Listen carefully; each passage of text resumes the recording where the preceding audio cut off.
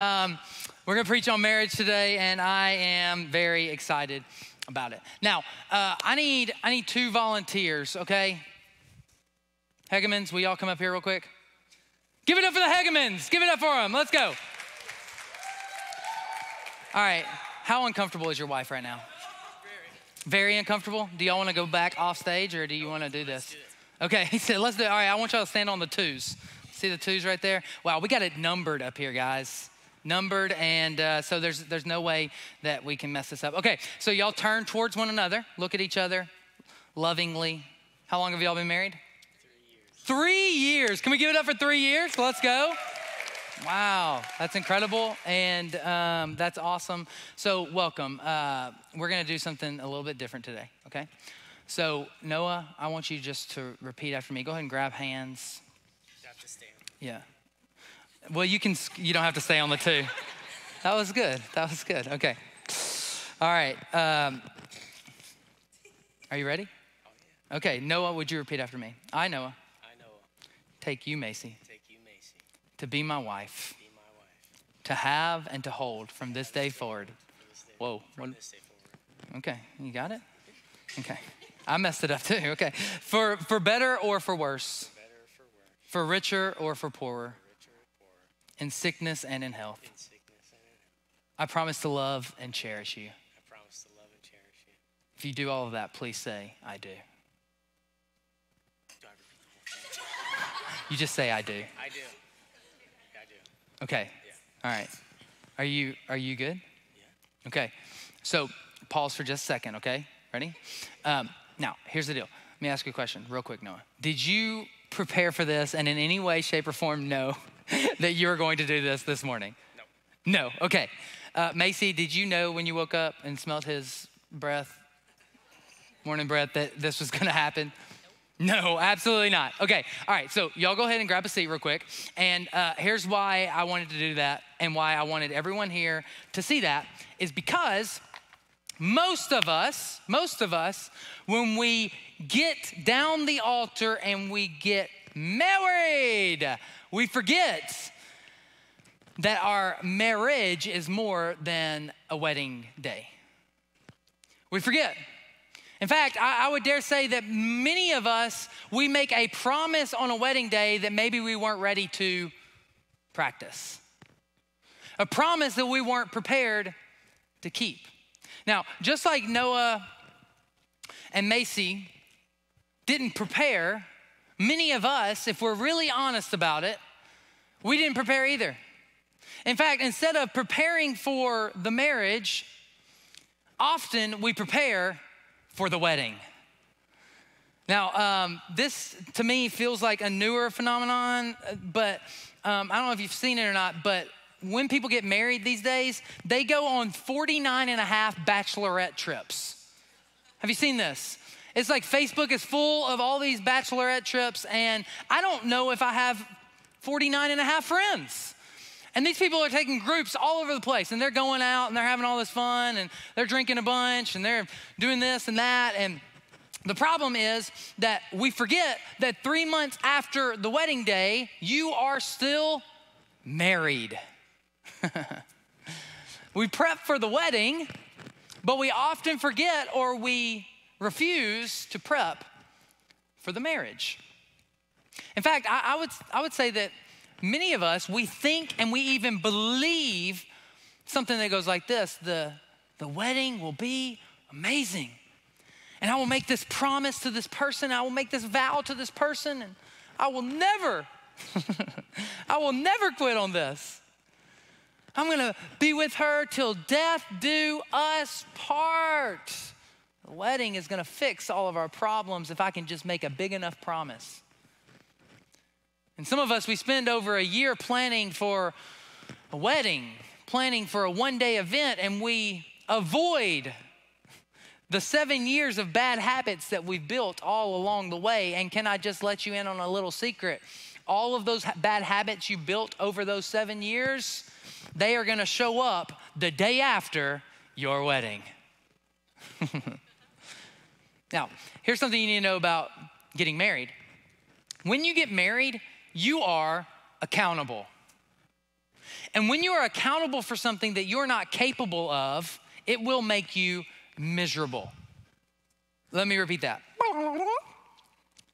When you are accountable for something, but you're not capable of that thing, of that commitment, of that preparation, of that promise, you will be miserable. Let me explain it this way. Um, you can sign up for a marathon and you can want to run that marathon and you can be excited about that marathon. But if you don't train for the 26.2 miles, it doesn't matter how much you want to do it, it doesn't matter how many promises you made to do it. It doesn't matter because you were not capable of doing it. And I promise you, you will be miserable in those 26.2 miles. Now, even if you did prepare, you're probably gonna be miserable during those 26.2 miles. Single people, if you're single today and like you're not married, you're not looking to get married, you're just living life. I want you to lean in a little bit today because before you get committed to a person, you need to go ahead and commit that you're going to prepare.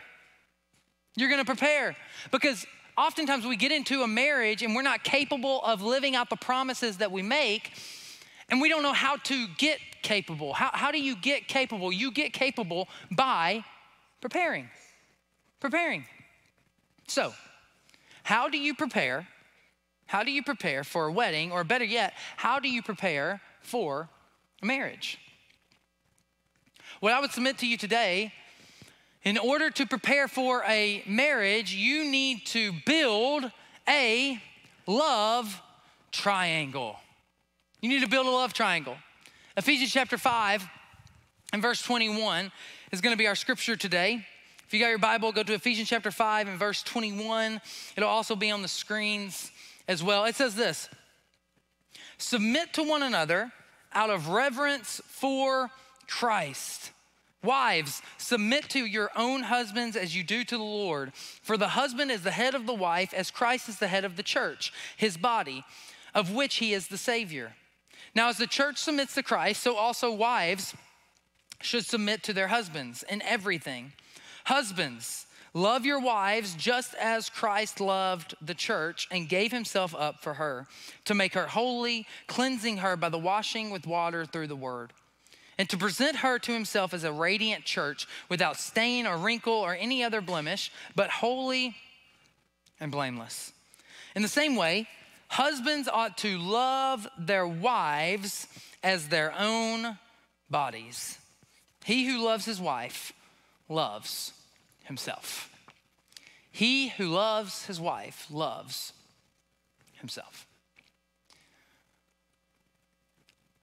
If you want to have the marriage that you always longed for, the marriage you always hoped for, the marriage one day, someday that you always dreamed of, I would dare say today you can have that marriage with one simple word, not easy to apply, but simple. It's the word submit. If you want to have a marriage that you always hoped for, the marriage you always dreamed of, you have to learn, men and women, to submit. The healthiest marriages know that submission, by the way, is not a bad word. the healthiest marriages know that it is a submission competition that brings people together. It's submission to one another, yes, but it's also, and more importantly, submission to a holy God submitting to God's will above your own, knowing that God's will is best, knowing that God knows best. It's submitting to God's ways and submitting to your spouse. Submitting to your spouse by loving them, by sacrificing for them, by respecting them. It is a love triangle. It's a love triangle. It goes like this if this is a love triangle, and you may have seen this illustration before, at the very tippy top is God.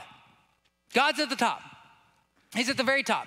The husband is on one side and the wife is on the other side. In fact, I, I want to illustrate this this way. Sarah, will you come up here and help me real quick? Um, And then will you pick those up for me? Because if I bend over, I will, I will, my pants will split. Um, this is the suit that I wore in our wedding nine years ago. And so, uh, yeah, okay. Barely, it's okay. Anyway, so here's the deal. This triangle, okay, has Sarah and I, and, and we are connected here together. And the closer that we each get to God, the closer we each get to one another. Now, the reverse is also true, though. It goes both ways. The further that we get away from God, the further we get from one another. And what's interesting about this principle, this love triangle principle, is that you cannot, as a husband, you cannot, as a wife, control your spouse. You cannot make, I cannot make my spouse grow closer to Jesus. I cannot scream at her enough. I cannot throw the Bible at her enough. I cannot quote enough scriptures at Sarah to make her grow closer to God. It's her relationship with God, and she has to grow it. See, the reality is that your relationship is your relationship. Your relationship with God is your responsibility. Sarah and I, we've gotten a lot of questions in this series asking, what do you do if your spouse isn't trying to get closer to God? Like if you're really trying to get closer to God, but your spouse isn't. The reality is that your relationship with God is your relationship with God. And what we've said time and time again is that you can't control them. All you can do is love them like Jesus. All you can do is pursue Jesus yourself and see what God does on the other side. Thanks, babe. So, if you want to build a love triangle, if you want to have this dynamic where you are both seeking God more than anything else, you're both going after the Lord, You've got to submit that's not a word that we use very often in our language today. But I would dare say that this is the one thing that can save your marriage or set you up for a future successful marriage. It takes submission. So I'm gonna run through a couple points today. Number one, you've got to learn, I've got to learn to submit to Jesus. Submit to Jesus. The Apostle Paul in, in uh, Ephesians chapter 5 says, Submit to one another out of reverence for Christ, out of reverence for Jesus. See, the motivation for your submission in marriage, it has got to be Jesus. It's got to be something stronger than the feeling that you have. It's got to be something stronger than the commitment that you have. It's got to be something stronger than both of you liking the Uni- University of Tennessee Volunteers. Hello, go Vols. It's got to be something better and bigger. It's got to be Jesus. And we've talked about it a lot in the last couple months, but let me just bang it home again. Jesus is king. Jesus is worthy of our submission. Jesus is worthy of our love. Jesus is worthy of our obedience. Jesus alone is worthy. Now, whether you're married or not, Jesus is worthy of your submission. Whether you're married or not. But marriage is it's an illustration. It's an illustration, time and time again, throughout the New Testament. Marriage is an illustration of the salvation relationship.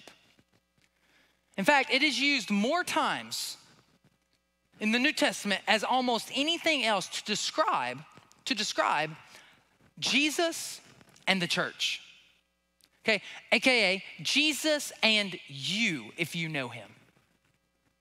And that illustration of Jesus in the church, it, goes, it goes deeper than just, yeah, the wife is like the church and the husband is like Jesus. And it goes deeper than that.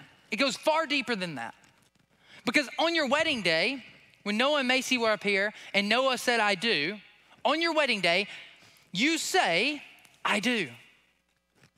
But what you know after the fact is if you want a healthy marriage, you have got to say, I do, day after day after day after day after day. Men, it is constant. It is, I do daily. I do take out the trash. Hello. I do change the oil. I do fill up the tank when she leaves it on zero. I do. I do. You got to say I do daily. Now, here's why this illustration of Jesus and the church and man and woman goes deeper than just in name. Because it is a lifelong pursuit saying I do with Jesus. It's saying I do to Jesus every single day.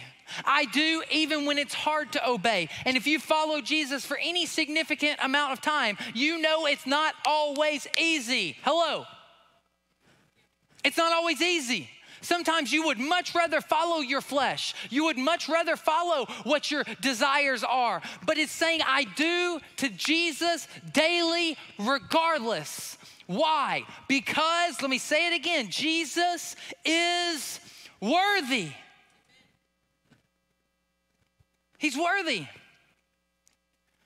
He gave up everything for you, He gave up everything for me. He's worthy. Which, by the way, this idea of submission to Jesus, um, the, the love triangle, it only works if you're both submitted to Jesus. So let me talk to the single people real quick that are dating somebody that doesn't know Jesus. It might be time, it might be time to break it off with them if they don't follow Jesus. Actually, it's time to break it off with them if they don't follow Jesus. That is a prerequisite for you moving forward if you're a follower of Jesus. You are not a missionary to them. Hello. You are not a missionary on Tinder. You are not a missionary to them. If you want to be a missionary, go with us to Guatemala next time.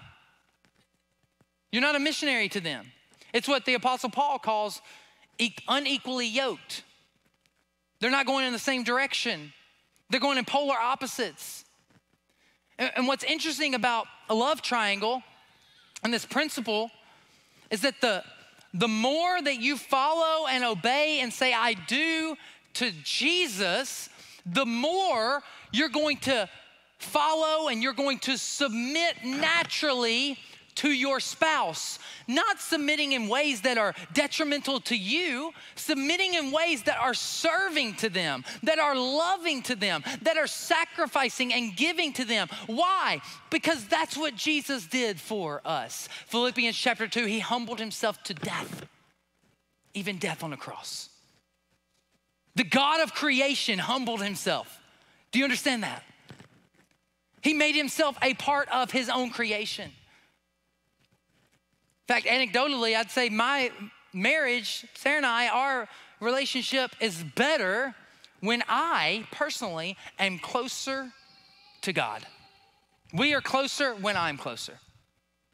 So the question is how, how do I submit? Okay, how do I submit to Jesus? If I need to submit to Jesus, what does that look like practically? like I've not read the Bible, I don't know all the theological ramifications of everything. How do I submit to Jesus? Let me just boil it down the way that Jesus boiled it down in John chapter 13. Jesus gave one big commandment. He said, Love one another as I have loved you, you should love one another. So, do you want to submit to Jesus? Do you want to get closer to God? If you want to do that, love someone who's far from God. We make it so complicated. It doesn't have to be complicated. Love somebody. You want to get closer to God? All right. You'll get closer to God when you're loving your spouse. You're sacrificing for your spouse. You want to get closer to God? Love your neighbor. What's incredible about marriage that I think we take for granted is that marriage is the visible representation of the invisible relationship that we have with Jesus if you know Jesus. That's why last week we talked about repentance and forgiveness. That great marriages are built on repenting, I'm sorry, and built on forgiveness. Marriage is a relationship that we should use in Christian households, we should use to show and tell the world about the forgiveness that we have received in Jesus. I should forgive Sarah, not because I should forgive Sarah, but because I've been forgiven by Jesus. In fact, I would dare say that for some people in your life, the, the world might see forgiveness in your relationship before they experience it in their life. They need to see it in our relationships. They need to experience it in our relationships because when you are forgiving them, it's showing that you belong to Him. Submit to Jesus. Second, you submit to one another. One another. The problem for a lot of us, though, is that, like, we believe that love is this feeling, right? More than a lasting commitment, it's more of a feeling. And if you haven't been here in this whole series, you should go back and watch week one. We talked all about that and we went in on that. You should go check that out. But we have this idea that love is a feeling. Let me illustrate it this way. I, I have three kids and I love my kids and I talk about my kids every single week because they keep giving me content. It's incredible. If you need content, just have kids. And um, I love my kids. I really do. I really do love my kids. I've got three. My oldest son, Cash, he just turned seven on Friday. And um, he is just, he's awesome. This past week, we went to um, my parents' house during fall break for a couple days. And my little nephew, he's five, and his dad is an Alabama fan.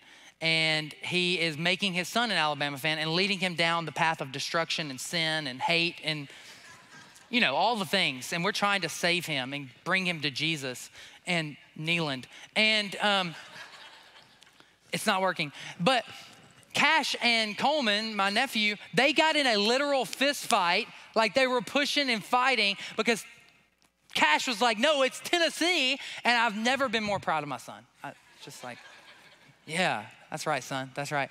And um, I love him, even when he's doing stuff like that. I love my, my second born, Kobe. Um, he is like all of the stereotypes of a middle child is Kobe.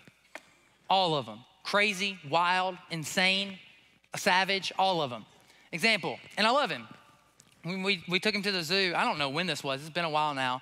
We went to the Knoxville Zoo, and he just pulls his pants down to pee, like on a turtle, just like, what are we doing here, bud? And uh, no cares in the world. He's like, yep, had to go, you know? It's like, all right, better than in your pants, I guess. And, um, and then my, my third daughter, uh, I love her. She's, she's incredible. Not my third daughter, she's my third child. Dear God, please, Jesus, no more. Uh, I don't need a third daughter, I just need a third child. And um, she's awesome and she's perfect and she'll never do anything wrong. So here's, here's the deal though I, I love my kids, okay? But I want you to imagine with me that my kids do something crazy and they make me upset, they get on my nerves, you know, something like that. Kobe pees in my shoes, you know, uh, which he did that at our party one time. He peed in another girl's shoes. And I was like, bro, that's not how you get the girls. like, um, but he did it. And um, imagine he does something crazy and I get so mad and I'm finally, I'm finally done with him. And I just go to Kobe and I say, Kobe, you know, it's just, it's just not working out. Um, let's just, you know what? Let's just go our separate ways and I'll let you take the house. I'll keep the Jeep. Don't worry, Kobe, it's not you, it's me. like, you would never do that to your kid. If you have kids, you know you would never do that to your kid. Why? Because you love them. And you view that love, watch this, as a commitment. And for some of us, it's easier to view that love with your child as a commitment than it is to view that with your spouse.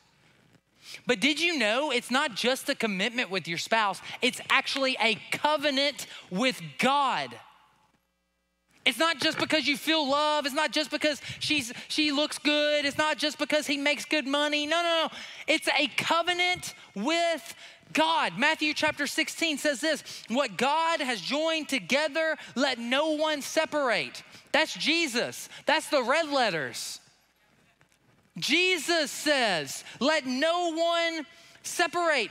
God is involved in marriage. God is involved. It's why it should be the priority relationship in your life, not your kids. God is involved between you and your spouse. It's a covenant. It's a covenant.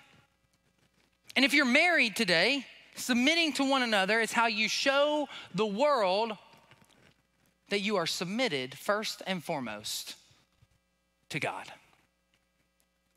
Jesus' command to love one another. It is teased out, it's applied by the Apostle Paul and James and John and Peter in the New Testament.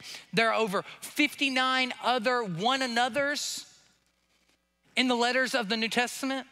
And all of them are application of the one big command by Jesus to love one another. Okay, Jesus, well, we love each other, but how do we do that? And the Apostle Paul and John and James and Peter, they come in under the inspiration of the Holy Spirit and they tell us how to love one another. And they say to serve one another and be generous to one another and practice hospitality toward one another and honor one another and encourage one another and to lift up one another and to pray for one another. The, the mark of submission in your marriage is love. The mark of love in your marriage is one anothering one another. It's dying to self. It's saying, not my will, not my preferences, but first God's, and then I'm gonna submit and serve and love and sacrifice for my spouse. I'm gonna do that for my, my spouse. Now, the Apostle Paul is very, very specific when it comes to how we are to submit to our spouses. So many times, I think, not with bad intentions, but so many times in churches, um, we have looked at wives submit to your husband, and we have forgotten verse 21 that says, submit one to another. But, but the Apostle Paul also has some very specific commands for men today and for women today. For men, he says how to submit. How do you submit? You submit through love and sacrifice. So if you're a husband today, lean in a little bit. If you're a wife and your husband's not here, write it down and then hand him the note card. Love and sacrifice. Paul specifically calls men to love their spouse, watch this, to the point of death. Can I just remind you when he says that you should love in the same way that Jesus loved the church? Can I remind you that Jesus loved the church to death? To death on the cross? love your wife to death, laying down your life for her, protecting her. Men, let me just ask you are you willing? Are you willing not just to die for her, are you willing to die to self for her? Are you willing to die to your desires, to die to your sin, to die to your past? And it's not just physical, by the way, it's not just physical death. Men are, are called to protect our wives, to protect them not just physically, but spiritually and mentally and emotionally. Are you willing to lay down your life, men? Are you willing to lay down your life so that she can live? Your side of the submission coin, you both submit one to another, mutual submission. But your side is to love her to death, to die to yourself. Now, the flip side of the coin for the ladies, for the wives here, how do you submit is respect and honor. Respect and honor. Paul specifically requests that women respect their husbands and honor their husbands.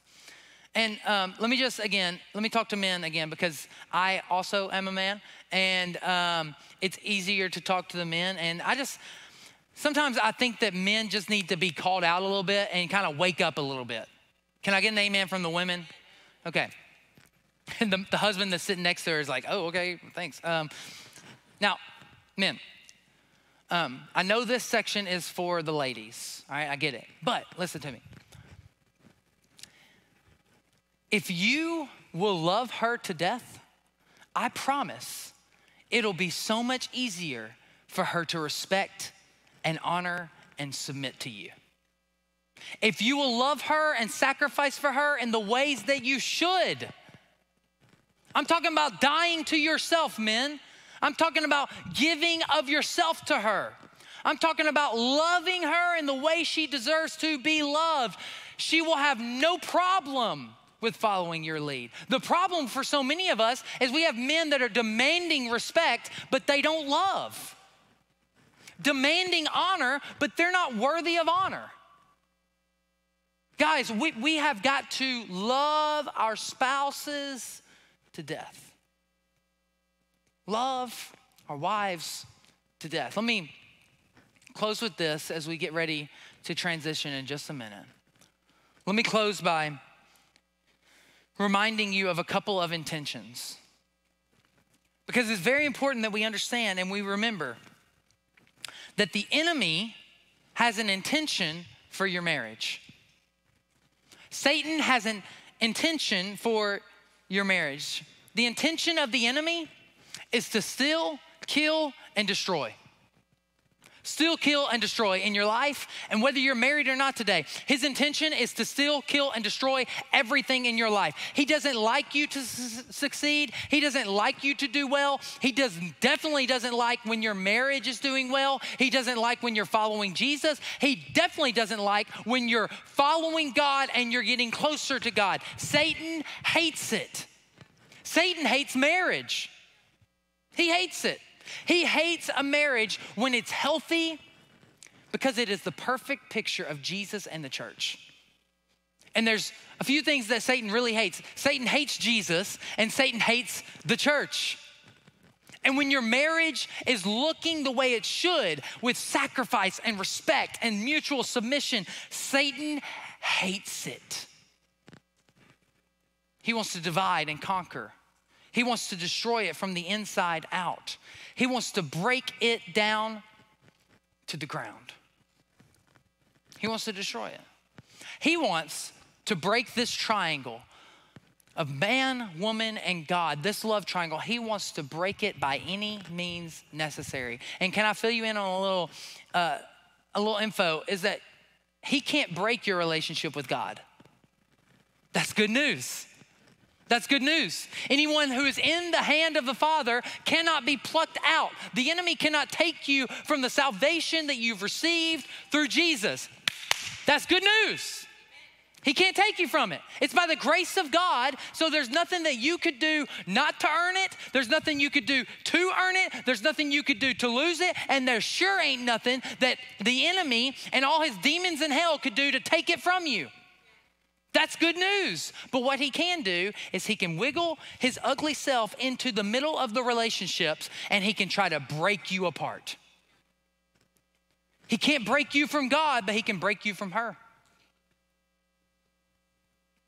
And he will do it by any means necessary. He wants to steal and kill and destroy. And he wants to start with something small. And it's a little compromise here. And it's a little compromise there. And it's a little text here. And it's a little flirt over there. And he wants to fit in any way he can to break you apart.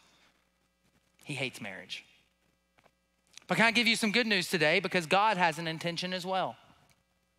God's intention, if you're married or if you're preparing for marriage or you hope to be married one day, the intention of God is to be fruitful and multiply.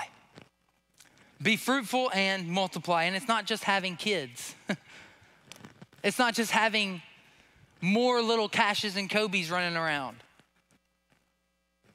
This spreads across the board.